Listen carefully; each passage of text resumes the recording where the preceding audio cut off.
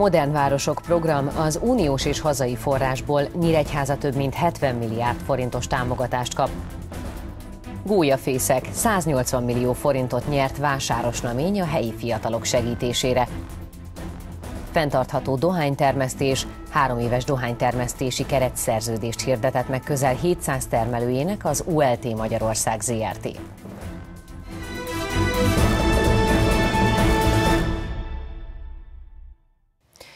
3500 milliárd forintból fejlesztenek 23 megyei jogú várost 2022-ig a Modern Városok program segítségével. A Kölcsei Televízió híradóját látják. Köszöntöm Önöket!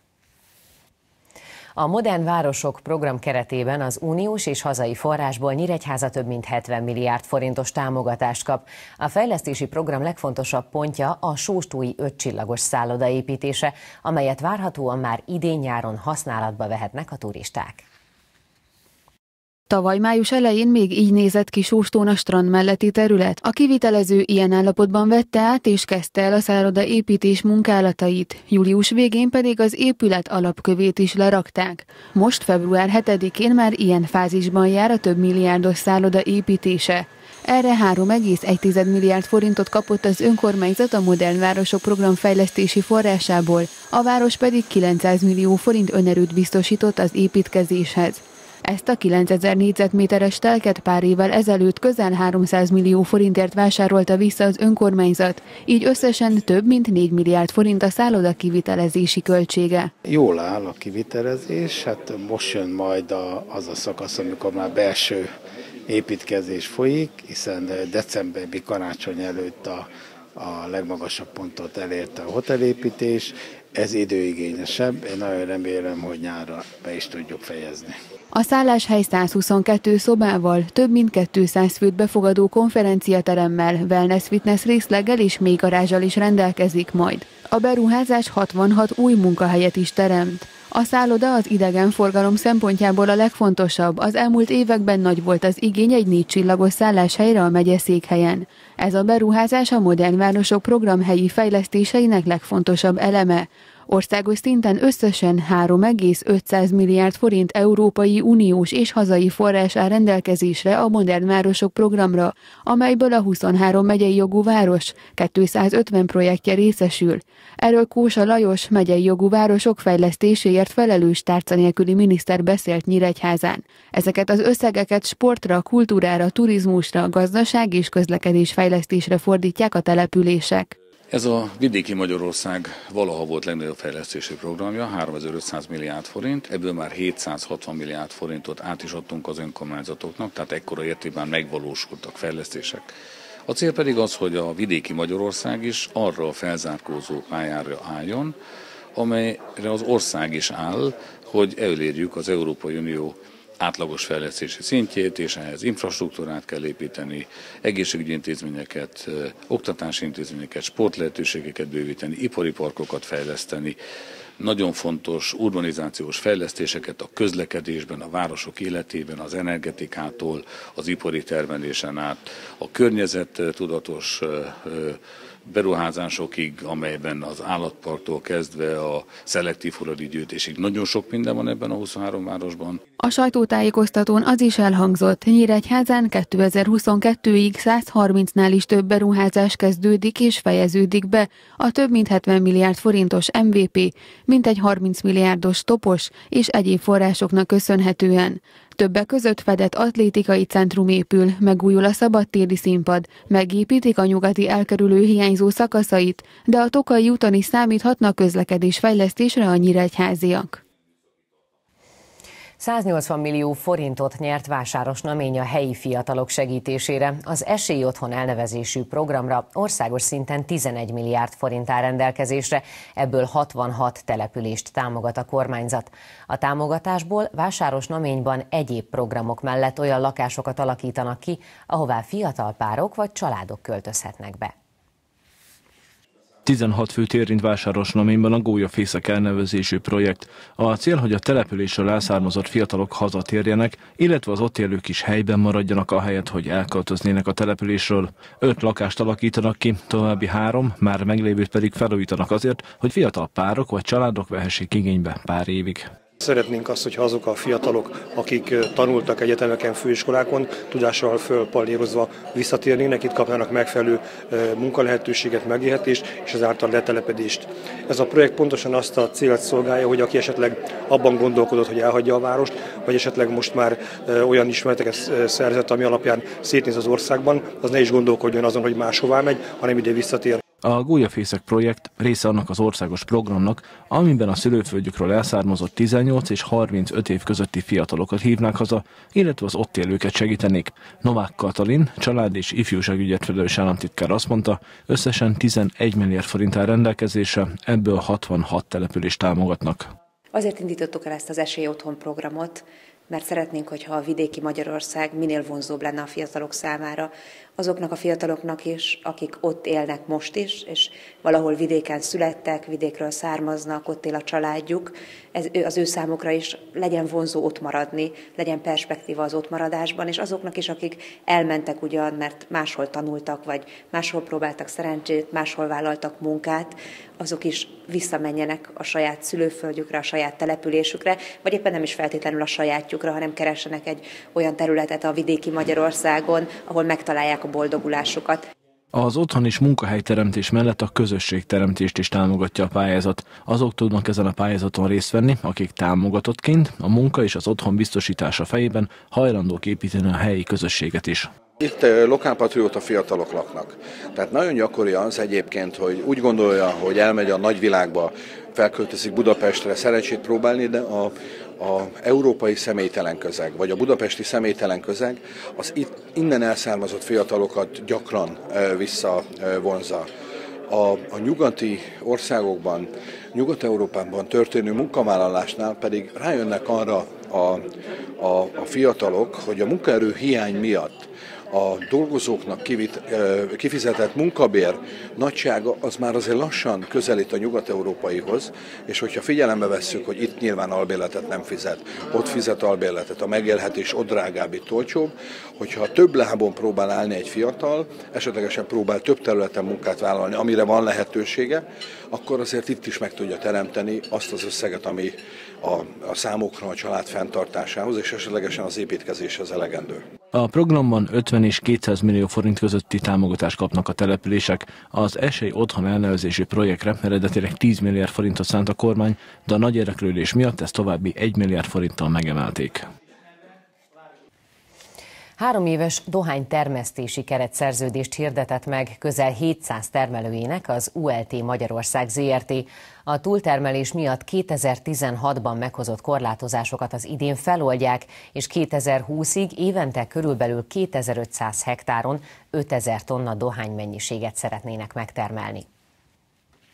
Nőtt a megtermelt és a felvásárolt dohánymennyiség 2017-ben. Tavaly 20 hektárral nagyobb területre, közel 3400 hektárra kötöttek termelési szerződést a felvásárló társaságok és a gazdálkodók. Az elmúlt években csökkentek a dohánytermő területek és a támogatások is. Most a magyar kormány közel 5 milliárd forintos támogatást biztosít 2020-ig az ágazatnak. Az OLT Magyarország ZRT három éves dohánytermesztési keretszerződést hirdetett meg közel 700 termelőinek, ezzel segítve őket. A legfontosabb szempont a szerződéseknél, hogy a 2016-ban a túltermelés miatt meghozott korlátozásokat ettől az évtől feloldják. 2020-ig évente körülbelül 2000 hektáron 4000 tonna Virginia típusú és 500 hektáron 1000 tonna feletti bőrli dohány mennyiséget szeretne az ULT megtermeltetni. Ezen kívül mindkét dohányfajta esetében 2018-ra 3%-os alapáremelés jár minden termelőnek, a következő két évben pedig az inflációt követő emelést kaphatnak a gazdálkodók. De megmarad a mennyiségi felárrendszere is a szerződésen felül teljesítő termelőknek. A Virginia esetében hektáronként 1350 és 2800, a Burley-nél pedig 1350 és 2500 kg közötti mennyiségre 160%-os felárat fizet ki az ULT. A dohánytermelés jelenlegi helyzetéről és jövőjéről Bényei Illés, a Magyar Dohánytermelők Országos Szövetségének elnöke beszélt 35 perc című műsorunkban. 2020-ig a az ágazat vezetése, a mezőgazdasági kormányzat vezetői kijelentették és biztosították a termelőket arról, hogy azt a támogatást, amit már elmúlt évben, azt megelőző évben kaptunk, ezt 2020-ig ők fent kívánják tartani, ha és amennyiben egyben marad a dohánytermelés. Erről az oldalról most már mondhatnám, hogy akkor hátra dőlhetnénk, csak hogy jön egy újabb probléma. Ez az újabb probléma pedig a most már évről évre jelentkező munkaerőhiány.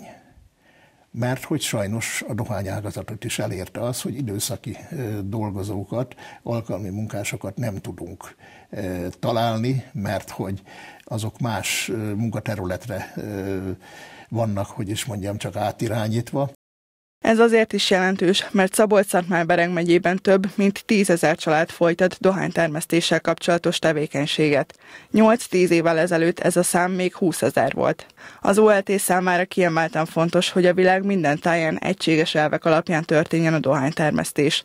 Ez szolgálja a fenntartható dohánytermesztés program, ami szabályozza a foglalkoztatás rendszerét és a termesztési technológiákat, figyelembe véve azok környezetre gyakorolt hatását. A fenntartható dohánytermelés alatt azt kell értenünk, hogy olyan terméket kell kibocsájtani a termelőknek, amelyik minden szempontból, egészségügyi szempontból, környezetvédelmi szempontból, foglalkoztatás szempontjából maximálisan kielégíti a kor követelményeit. Mint ahogy a felvezetőben volt az ULT Magyarország, ő egy multinacionális cégnek az egyik régiós szervezete, az ULT az egész világon ö, folytatja a ö, felvásárlást, a dohány felvásárlását, és egy egységes rendszerbe foglalt követelményrendszert támasztanak a dohánytermelőkkel szemben, amit természetesen a cigarettagyárak is és hát nem beszélve arról, hogy az egészségügyi szervezetek, de a munkaügyi szervezetek is megkövetelnek, és akkor még a környezetvédelemről nem beszéltem. A program magában foglalja, hogy csak legális munkaerőt foglalkoztatnak a termelők, és olyan módon végezzék a tevékenységet, hogy az élhető környezetet ne károsítsák. Ez igaz a növényvédőszerek használatára is. Fontos, hogy a betakarításig annak le kell bomlani, tehát a fogyasztó ezzel már nem találkozhat. Új mobiltelefonos applikációval segíti a hulladékszállítással kapcsolatos ügyintézéseket március 1-től a térségi hulladékgazdálkodási nonprofit Kft. A telefonos alkalmazásnak köszönhetően értesítést kaphatunk a hulladék elszállításának rendjéről, illetve arról is, hogy milyen típusú gyűjtőedényt kell kihelyeznünk ingatlanunk elé. Minden év elején a hulladékgazdálkodási Kft. ügyfelei részére hulladékszállítási naptárt küld, hogy melyik szelektív gyűjtőedényt mikor kell kihelyezni az ingatlan elé, hogy a szolgáltató elszállíthassa. Bár a naptár pontosan jelöli a dátumokat és a gyűjtők színét, típusát, mégis sokan elfelejtik, vagy más időpontban, vagy éppen rossz hulladéktárolót tesznek ki házuk elé. A térségi hulladékgazdálkodási Kft. azonban hamarosan véget vet a bizonytalanságoknak. Petro Árpád a Kft. ügyvezetője kiemelte. Egy új, országosan is egyedülálló fejlesztéssel szeretnék megoldani megoldani a problémát?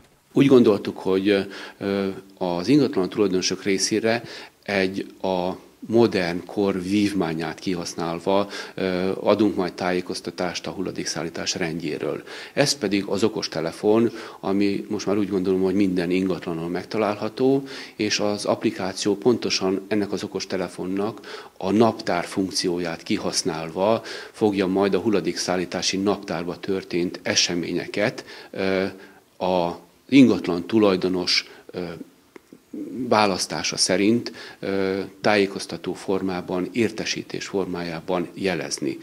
Pontosan arról van szó, hogy a előző nap kap egy értesítést az ingatlan tulajdonos, hogy a következő nap akár vegyes hulladékot, akár szelektív hulladékot, akár biohulladékot fogunk szállítani az ingatlanáról. Az applikáción keresztül nem csak értesítéseket kaphatunk a hulladékszállítás idejéről. A folyamatos fejlesztésnek és ötleteknek köszönhetően a hulladékszállítással kapcsolatos összes teendő elvégezhető lesz egy okostelefon segítségével. Az applikáció egyben egy elektromos, elektronikus ügyfélszolgálati rendszert is tartalmaz magába, és aki letölti ezt az applikációt, ennek segítségével mindenféle olyan a szolgáltatással kapcsolatos észrevételt, problémát, vagy esetlegesen az ingatlan tulajdonoló jogában történő változást bejelenthet számunkra. Nem kell befáradni az ügyfélszolgálatra, nem kell befáradni a közszolgáltatóhoz, hanem most már a telefonon keresztül a, az applikáció által felkínált űrlapok kitöltésével jelezheti felénk az esetleges gondjait, problémáit. Az applikáció már elkészült. Jelenleg a próbaüzemelés folyik. Ha minden a vártaknak megfelelően működik, tesztüzemben március 1-ével letölthető lesz az okostelefonokra. A bűncselekmények áldozatainak és hozzátartozóiknak a kártalanításáról tartott sajtótájékoztatót a Jobbik. Adorján Béla, a négyes számú választókerület országgyűlési képviselőjelöltje szerint a büntetés végrehajtási intézményekben sokszor jobb körülmények között élnek az elítéltek, mint a civil életben. Ennek ellenére gyakran panasszal élnek, miszerint kevés a számukra biztosított 6 köbméter légtér, valamint a férfiaknál három, nőknél és gyermekeknél három és fél négyzetméter mozgástér. A Jobbik szerint nagyobb hangsúlyt kellene fektetni a sértettek kártérítésére, mint az elkövetők életkörülményeinek javítására. Összességében változtatni kell a büntető törvénykönyvön, a zárka törvénynek ide vonatkozó részein, és mindenképpen az áldozatvédelmi paragrafusokat olyan módon kell megváltoztatni, hogy az áldozatok mielőbb és minél hamarabb konkrét kártérítésben tudjanak részesülni anyagiban is, hiszen elég nagy az a lelki és fizikai teher, amit elszenvednek egy bűncselekmény, akár gyilkosság vagy halált okozó súlyos testi sértés kapcsán. Ezt nagyon-nagyon fontosnak tartom, és amint lehetőségem lesz rá, a Magyarország gyűlés elé is fogom vinni.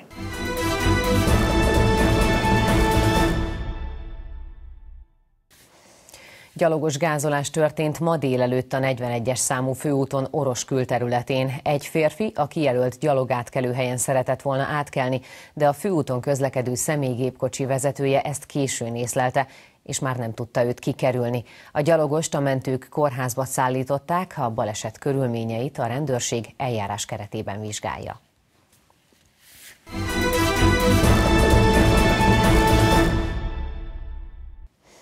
Négy napos szlovákiai edzőtáborozást követően készül a tavaszi szezonra a Nyíregyháza Spartakusz női futballcsapata. Készülnek az utánpótlás együttesek is 13 korosztályban, 18 csapat várja a bajnoki folytatást. A hölgyekkel és a fiatalokkal szembeni elvárásokról ma tájékoztatták a sajtóképviselőit. Az NV2 keleti csoportjának harmadik helyén várja a tavaszi folytatást a Nyíregyháza Spartakusz női csapata. Az amatőr együttes négy napot a szlovákiai Sninán töltött, ahol az edzések mellett két meccsen is pályára léptek Makaj Robin tanítványai. Az osztálytárs Kelen egy céltől 6-3-as vereséges szenvedett a Spari, a szlovákiai Bártfa U21-es csapatával pedig 3-3-as döntetlent játszottak a nyíregyházi hölgyek. A csapat edzője hasznosnak ítélte az edzőtábort. Az első visszaigazolások alapján nagyon pozitív élményekkel gazdagodtak a lányok is, és mi magunk a stábtagok is, és úgy gondolom, hogy a realitása is, illetve a racionalitása az eredménynek ez majd úgyis a bajnokság közbe fog visszatükröződni, de nagyon pozitívan és bizakodóan állok ez elé, mert olyan jellegű munkákat tudtunk elvégezni kint Szlovákiába, amire itthon nem nagyon van lehetőségünk olyan szempontból, hogy több napot folyamatosan a, a csapat együtt tudjon tölteni, és csak a labdarúgással tudjanak foglalkozni, mert ugye iskola és munkahely mellett ez elég nehezen kivitelezhető logisztikailag is, úgyhogy mindenféleképpen nagyon hasznos négy napot töltöttünk, és ezt ezúttal is szeretném megköszönni a vezetőknek, mert mert úgy gondolom, hogy nagyban hozzájárultak ahhoz, hogy sikeresebbek tudjunk lenni a tavaszi szezonban.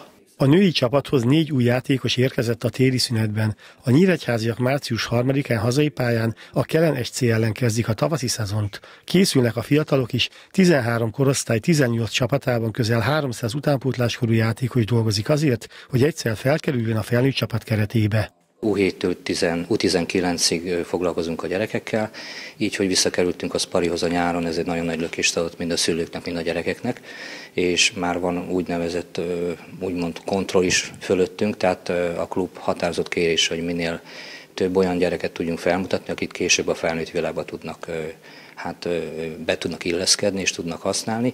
Most jelen pillanatban talán annyi örömteli dolog van, hogy talán már elkezdődött ez a folyamat, hiszen Szegedi Bence az a felnőtt csapattól profi szerződést kapott, és még vannak többen is, akik előtte állnak. A magasabb korosztályú, nagy pályán játszó csapatok számára február 24-én folytatódik a bajnokság, március 10-ét követően pedig a félpályán és háromnegyed pályán szereplők is bekapcsolódnak a pontvadászatba. A legkisebbek folyamatosan szerepelnek a különböző teremtornákon. Híradónk végén nézzük a legfontosabb híreket még egyszer, röviden. 3500 milliárd forintból fejlesztenek 23 megyei jogú várost 2022-ig a Modern Városok program segítségével. Ebből az uniós és hazai forrásból Nyíregyháza több mint 70 milliárd forintos támogatást kap. A fejlesztési program legfontosabb pontja a Sóstói 5 csillagos szálloda építése, amelyet várhatóan már idén-nyáron használatba vehetnek a turisták.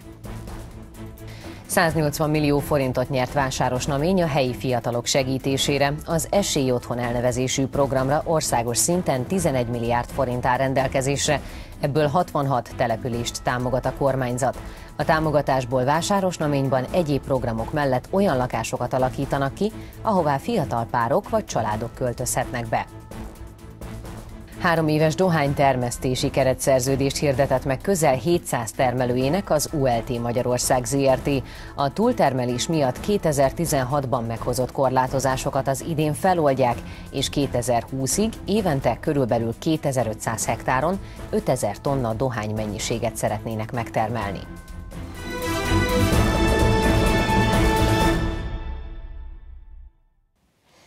Önök a Kölcsei Televízió híradóját látták február 7-én szerdán. Friss hírekkel holnap este várjuk majd Önöket. Tudósításainkat addig is elérik a honlapunkon. Munkatársaim nevében is köszönöm a figyelmüket a viszontlátásra.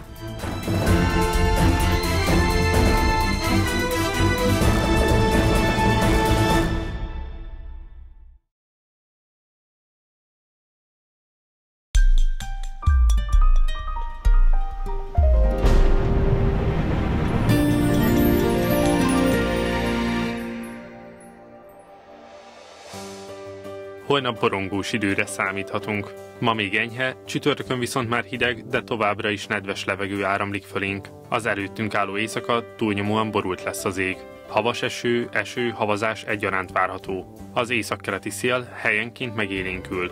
Reggelre általában egy fokig csökken a hőmérséklet. Holnap napközben túlnyomóan borult lesz az ég.